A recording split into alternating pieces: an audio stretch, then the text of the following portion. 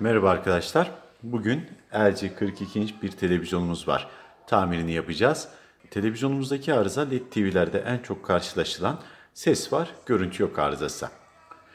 Bu arıza konusunda kullanıcı olarak neler yapmanız gerekir onları anlatmaya çalışacağım. Bu arıza birçoğumuzun başına gelmiştir ve bundan sonra gelmesi muhtemeldir. Böyle bir durumda yapılması gereken şudur. Ses var, görüntü yoksa acaba LED bar, LED driver'da mı sıkıntı var yoksa panel veya kartta mı sıkıntı var? Bunun tespitini kendiniz birkaç işlemle yapabilirsiniz. Bunu nasıl yapıyoruz? Şimdi televizyonumuzda sesimiz var. Bu esnada televizyonumuza dikkatli olarak bakarak, biraz ışık da yansıtarak arka planda görüntünün oynayıp oynamadığına bakıyoruz. Eğer oynayan bir görüntü varsa televizyonumuz aslında çalışıyordur. Her şey normaldir. Arkadaki led aydınlatma çalışmadığından dolayı görüntüyü biz gözümüzde göremiyoruz. Bunun için ne yapıyoruz? Tam aksine normalde panele gelen arkadan ışık görüntüyü bize gösteriyordu. Biz panele ön tarafından ışık tutarak arka tarafındaki görüntünün olup olmadığına bakıyoruz. Şu şekilde benim bunun için tasarlamış olduğum bir sistemim var. Aydınlatmayı verdiğimiz zaman görebiliyorsunuz. Arkadaki görüntüleri çok rahat görüyorsunuz. Siz bunu evinizde nasıl yapacaksınız? Ee, herhangi bir fener, e, cep telefonun feneri de olabilir bu. Bunu tuttuğunuz zaman arkadaki görüntünün olup olmadığına bakıyorsunuz. Tutarken farklı açılardan ışık tutarsanız görüntüyü görmeniz çok daha kolay olacaktır. Televizyonumuzun arızasını tespit ettik. Sesimiz var, görüntümüz var. Sadece led aydınlatma çalışmıyor. Bunun da iki sebebi olur. Çok büyük ihtimalle led arızasıdır. Yine küçük de olsa bir ihtimal led driver yani led sürücü arızasıdır. Ben bu videoları çekerken tamirlerini siz yapın diye çekmiyorum.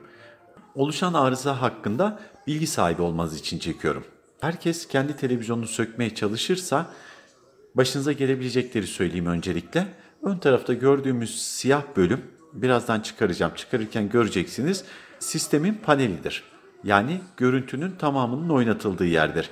Panelin kırılması demek televizyonun %80'i gibi bir maliyette karşı karşıya kalmanız demektir. Yani atıyorum bu gördüğünüz televizyon 2000 lira civarında. Panelini alabileceğimiz rakam işte 1500-1800 aralığındadır. Modeline göre değişir. Bulunmayan modellerde panel çok daha yüksektir. Ondan dolayı bu işleri bilenlerin yapmasında fayda var. Burada biz en azından arızamızın ne olduğunu bilelim. Uzun zamandır televizyonlar hakkında video çekiyorum.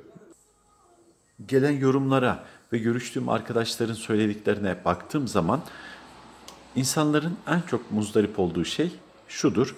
Televizyonu götürdünüz herhangi bir servise, yetkili servis, özel servis fark etmez. Tamir için bıraktınız. Acaba benim televizyonumdaki arıza neydi? Arıza küçüktü, daha mı büyük söylediler?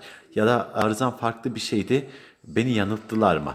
İnsanların kafasında bu düşünce olmadan tamirciye giderlerse hem tamircinin işi kolay olacaktır hem de tamire veren müşterinin işi çok daha kolay olacaktır. Bu şekilde yaptığınızda tamirci arkadaşlarım da sıkıntıya girmeyecekler.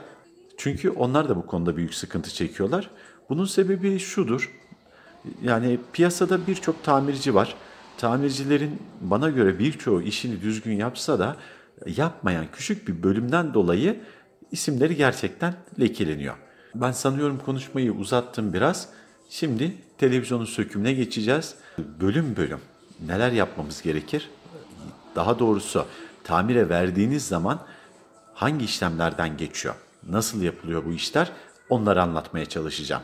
Videoda olduğu gibi 5 dakikalık 10 dakikalık bir süreç değil bu. Çok daha uzun bir süreç ama kısaltılmış haliyle izlemiş olacaksınız. Evet arkadaşlar sıra geldi televizyonun sökümünün nasıl yapıldığını görmeye.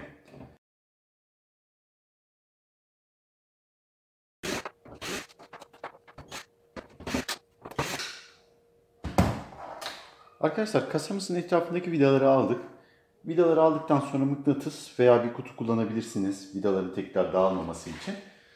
Gördüğümüz bütün vidaları aldıktan sonra kapağımızı yukarı hareketle kaldırıyoruz.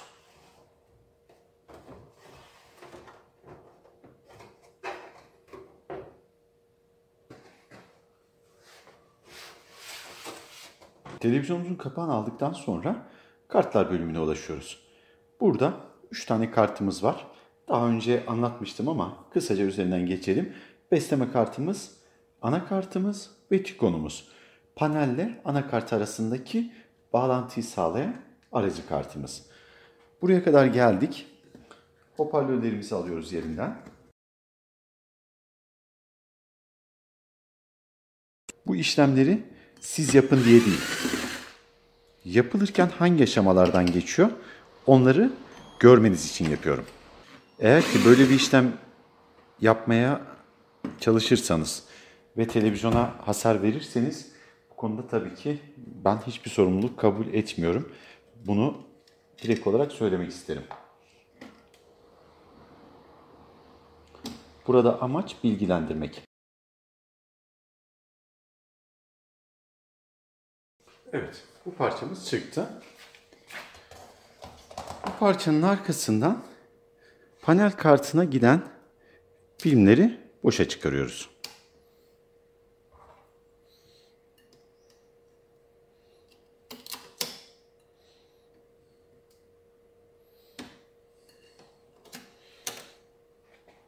Burayı da boşa çıkardıktan sonra artık çerçevenin kenarlarındaki vidaları almak ve panele ulaşmak kalıyor geriye. Evet arkadaşlar, çerçeve etrafındaki vidaları da aldık. Buradaki kartlar panel kartlarıdır. Şu arada gördüğünüz e, küçük yol olan filmlerde coflardır. Yani öndeki cam panelle tikon arasındaki bağlantıyı sağlıyorlar. Panel, panelden coflarla çıktı. Panel kartı, panel kartından tikon, tikondan anakart. Bu şekilde devam ediyor. Şimdi televizyonumuzu ters çevirip çerçevesini alacağız. Arkadaşlar panelin etrafındaki vidaları almıştık. Şimdi çerçevenin kenarında birkaç tane tırnağımız vardı plastik. Onları da çıkardık. Arkasından şu şekilde çerçevemizi alıyoruz. Burada gördüğümüz siyah tabaka televizyonumuzun panelidir. Yani görüntüyü veren kısımdır. Burada yapmamız gereken şey panele bağlı cofların olduğu panel kartlarını boşa çıkarmaktır. Arkada plastik tırnaklar tutar. Plastik tırnaklardan kurtardıktan sonra iki parçadır sağ ve sol olacak şekilde paneli tamamen boşa çıkarıp buradan almaktır. Arkadaşlar panel kartlarını şu şekilde kurtardıktan sonra sıra geldi panelimizi almaya.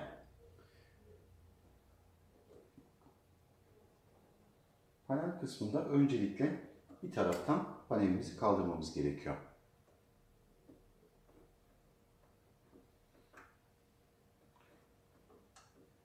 Paneli bir taraftan kaldırdıktan sonra altına fazla dokunmadan çünkü iz kalmasın diye şu şekilde yanlardan çok hafif bir hareketle kaldırarak uygun bir zemine bırakmamız gerekir. Arkadaşlar led ölçümlerini yapmadan önce buradaki yansıtıcı bölümü almamız gerekiyor. Bunu alabilmek için de şurada tutan plastik tırnakları. Hepsini tek tek sökmemiz gerekir. Arkadaşlar en son filmi tutan plastik parçaları aldık. Şimdi şu şekilde kaldırıyoruz.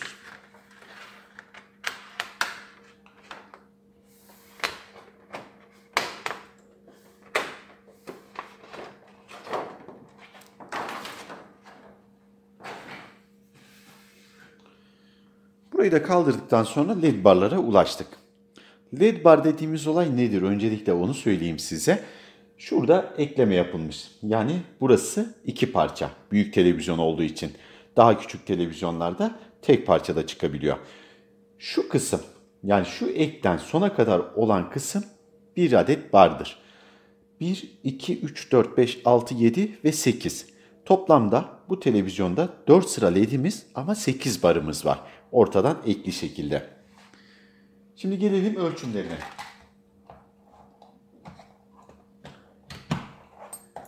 Bu arada şunu söylemek isterim. LED ölçümü neyle yapılır? LED ölçümü LED driver ile yapılır. LED driver'ın mantığı nedir? LED kaç volt istiyorsa sürücü onu ayarlar, o şekilde voltaj verir.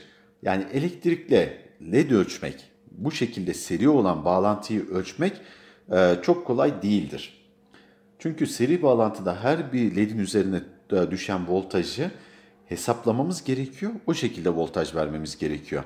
Bu tamiri yapacaksak eğer bir LED driver kullanmamız gerekir.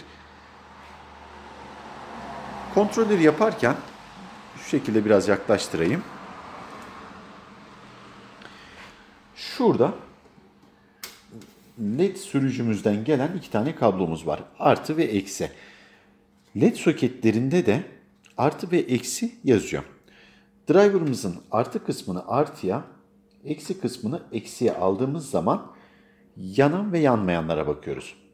Şuradaki kısım çok zayıf yanıyor ve patlamak üzere. Hatta tamamen gitti. Belki diğeri.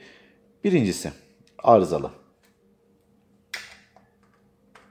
Gelelim ikinci sıraya. Baktığımız zaman burada da şuradaki arızalı. Arızalı olan ledlerde merceklerimiz kendiliğinden geliyorlar. Bunun da sebebi ısı.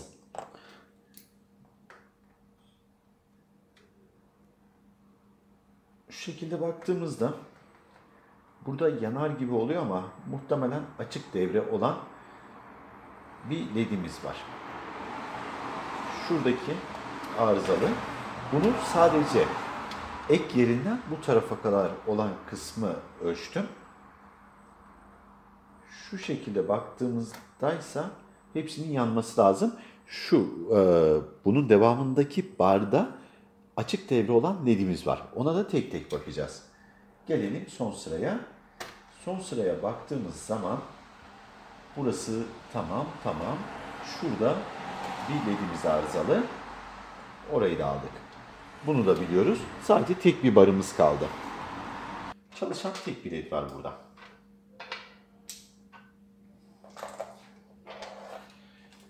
Ve dikkat ederseniz merceklerin birçoğu kendiliğinden düşüyor.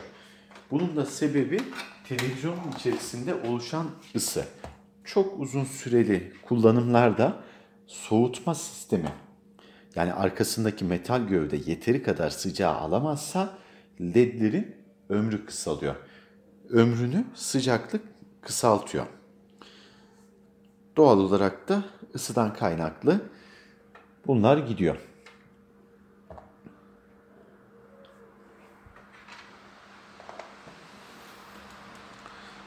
Şimdi son duruma bakıyorum.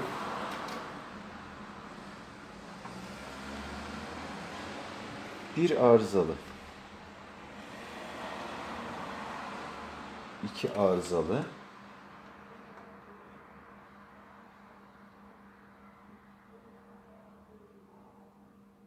Üç arızalı.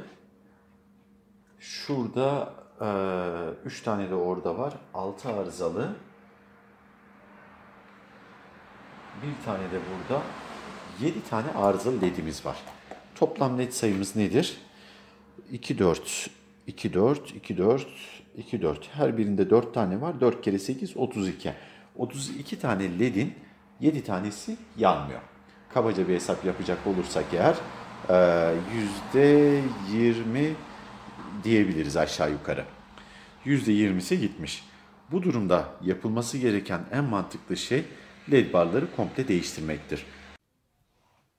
Arkadaşlar ledlerimizde çok sayıda arıza vardı. Bununla beraber merceklerimiz de ısıdan dolayı sürekli düşecek durumdaydı. Bu sebeplerden dolayı komple led değişimi yapacağız. Yeni ledlerimiz burada. Led seçimi yaparken televizyonlarda farklı farklı çıkabiliyor. İşte bu televizyonumuzda A ve B ledleri çıktı. İki parça olduğu için. Barlarımızdan 4 tanesi B, 4 tanesi A. Bunların her biri birleşiyor. AB olacak şekilde 4 sıra yapıyor. Sizin karşınıza ne gelebilir? İşte A1, B1, ABCD şeklinde farklı kodlar gelebilir. Bunlar da orijinaliyle yani içinden çıkanla birebir aynısını taktığımız zaman görüntüde hiçbir şekilde sıkıntı yaşamayız. Gelelim ledlerin değişimine.